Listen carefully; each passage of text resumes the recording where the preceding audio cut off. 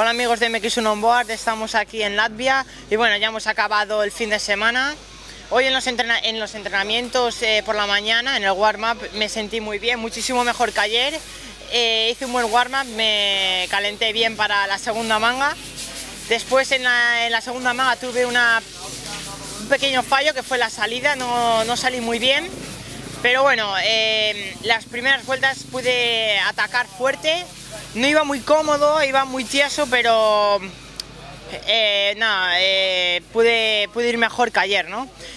Y cuando pillé un piloto, pues eh, me cortó totalmente el ritmo, no, me costó mucho pasarlo y una vez que lo pasé, no, no pude tirar hacia adelante.